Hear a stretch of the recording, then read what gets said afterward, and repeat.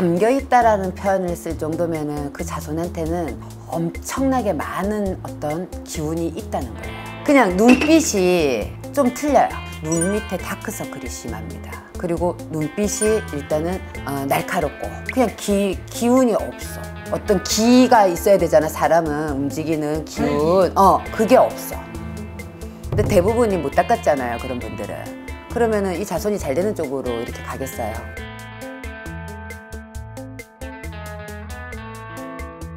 네, 안녕하세요. 선생님 이번에는 이제 시청자분들이 음, 어, 점집 가서 이제 들어본 말 중에 음, 조상이 감겨 있다.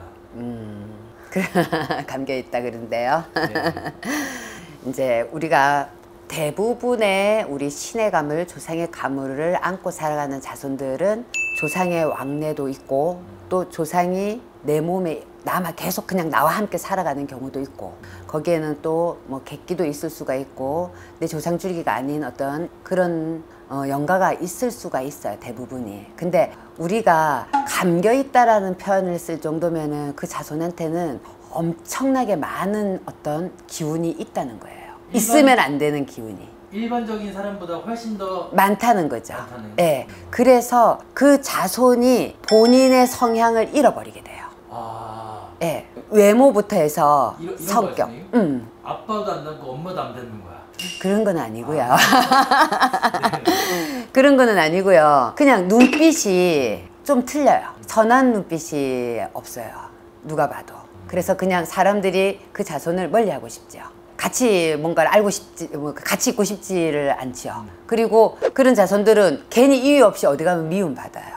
왜 이러지 사람들이 나한테 나 잘못한 것도 없는데 왜 미워해? 사람들은 왜 다 나를 싫어해요? 미워해요? 이런 얘기들을 많이 하겠죠. 그리고 자기 색깔을 잃어버리면서 성향, 뭐 먹는 거, 어떤 자기가 어렸을 때부터 쭉 생각, 생각을 했을 때 나 원래 이런 사람이 아니었는데 왜 어느 날 보니까 내가 왜 이런 사람으로 되어 있지라는 그런 그런 상태가 되어버려요. 일단 외모적으로 감겨 있다라는 표현을 쓸 정도면은 어느 이제 외모적으로 나타나는 특징은 뭐냐면은 눈 밑에 다크서클이 심합니다. 그리고 눈빛이 일단은 어, 날카롭고 그 날카로운 게 뭔가 총기가 있어서 날카로운 게 아니라 좀 우리가 살기가 있다 그러죠. 좀 무서운 눈빛, 뭔가 사고 칠 것 같은 눈빛. 그리고 또 어떤 눈빛이냐면은 약간 동태 우리 동태 생선 동태 표현을 많이 하잖아요. 그런 눈빛. 그리고 사람이 그냥 기 기운이 없어. 어떤 기가 있어야 되잖아. 사람은 움직이는 기운. 어, 그게 없어. 음, 그리고 전신에 안 아픈 데가 없어. 그렇다고 딱히 병원에 가도 병명은 없어. 그리고 원래는 그런 사람이 아닌데 술 먹고 돌변하는 자손들 있죠. 거긴 100%예요. 정말 술 안 먹으면은 천사도 천사도 저런 천사가 없는데 술만 먹으면은 완전히 사람이 돌변해 갖고 사고를 치고 싸움을 하고 험해지고 막 이성을 잃고 그리고 다시 술을 깼을 때는 내가 왜 그랬까 후회하는 자손들은 대부분이 감겨 있다고 보시면 돼요. 이게 신병하고는 어떻게 차이가 있는 거예요? 저희가 이제 신이 올 때 신만 오는 게 아니고 그 밑에 조상줄기가 오, 거든요 근데 조상줄기가 올 때 직계 조상줄기만 오는 경우는 극히 드물고 뭐 사촌, 사돈, 사돈, 겹사돈까지 이렇게 막 다 달고 오거든요. 같이 다 매달려서 옵니다. 왜? 왜 그럴까요? 왜요? 이분은 이 밑에 제자님 우리가 신병을 앓고 있는 이 자손도 자손이지만 이분한테는 이 신명 명패를 받은 이분한테는 이분들도 자손이거든요.